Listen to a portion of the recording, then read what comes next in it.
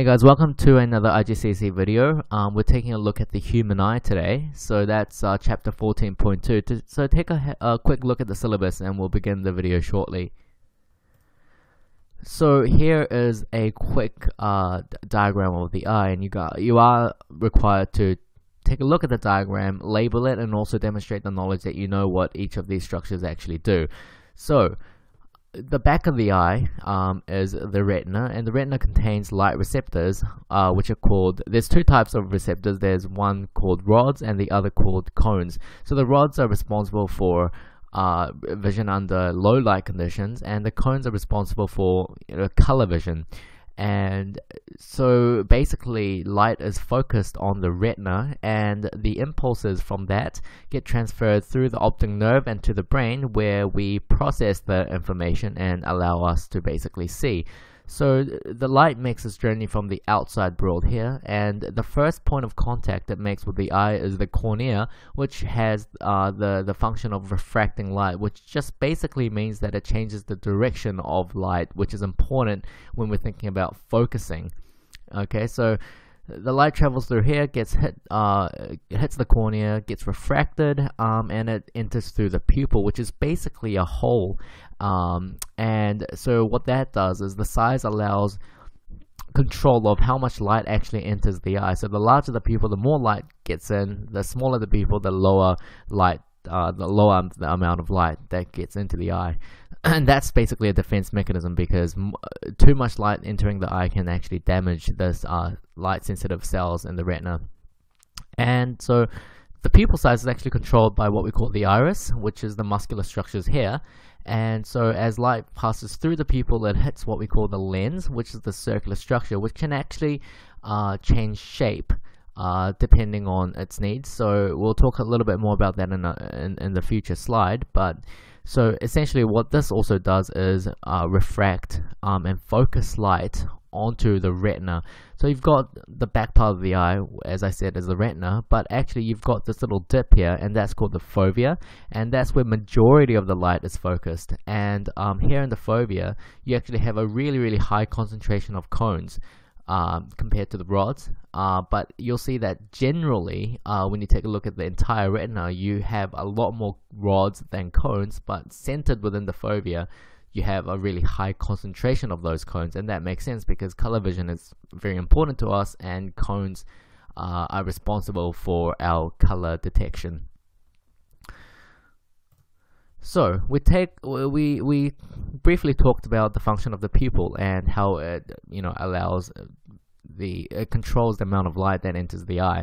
So how it actually happens is through the iris. And if you take a look at the iris here so obviously the middle part the black part here is the pupil and the surrounding structure is the iris.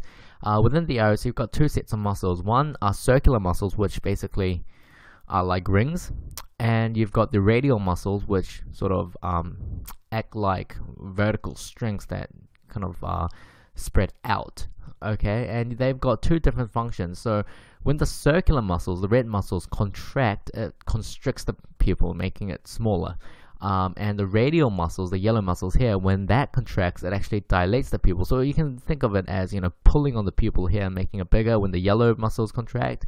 Um, and if when the red muscles contract, it sort of contracts inwards to make the pupil smaller.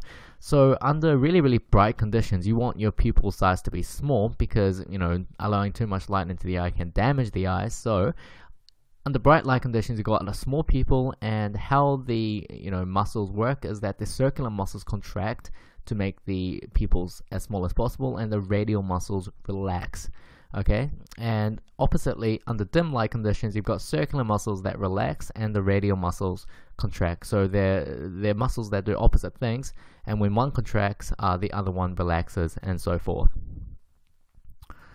So um, that we took a look at the pupils and how the pupil size is uh, varied via the iris now let's take a look at the circular structure here called the lens and I suggested earlier that the lens can actually change shape as well. So let's imagine we take um, a look at the first diagram here and we're taking a look at a plane that is traveling very uh, far away from us and so essentially when we take a look at the plane uh, what allows us to you know visualize the plane is that we basically interpret the light that is coming off the plane, and as that light is focused towards the back of the eye, uh, those impulses travel to our brain, and our, our brain basically processes that information and you know, allow us to see what we call a plane.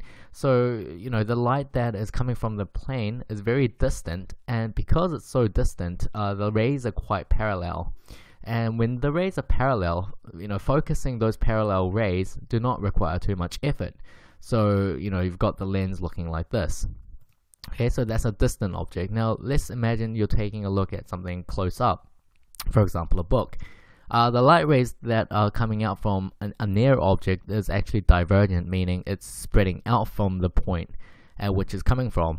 Um, so what that means is because the uh, light rays are coming at a larger angle, to be able to focus it on the back of the eye, it requires um, more uh, convergence, basically more um, effort to, you know, sort of focus those rays at the back of the eye.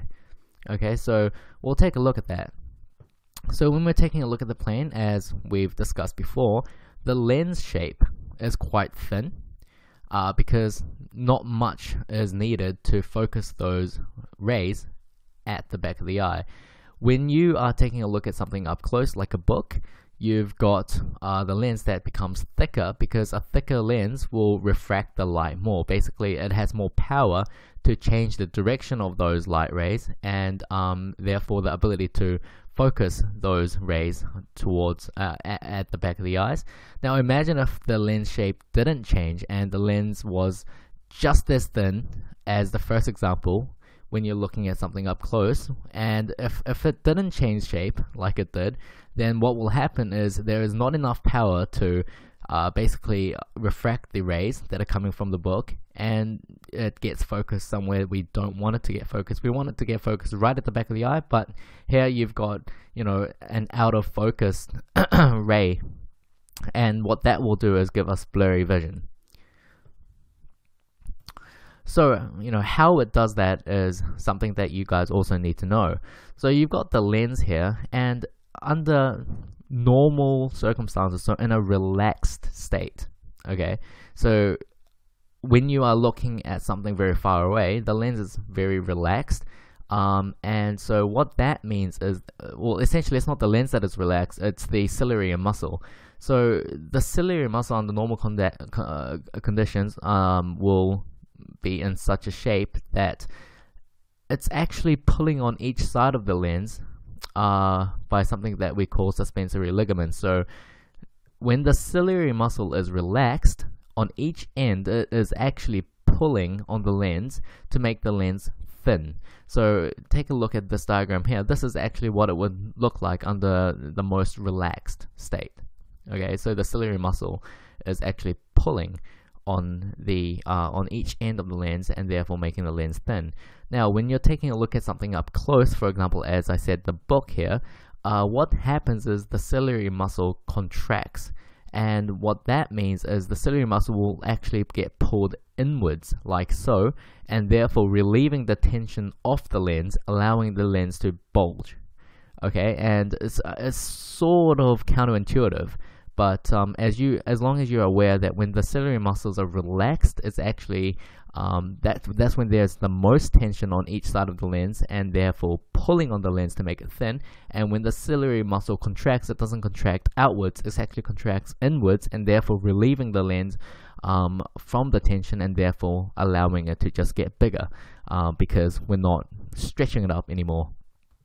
Okay. So you know, again, as I said, the bigger bigger the lens, the more light that it will refract. Well, the, the, to to the lar- to a larger degree, uh, refraction will happen, and therefore allow that pinpoint focus onto the retina. So uh, that's it for today, guys. Um, if you got any further questions, just you know ask in the comments below, and um, I will try to answer it for you. But otherwise, um, I'll see you in the next video.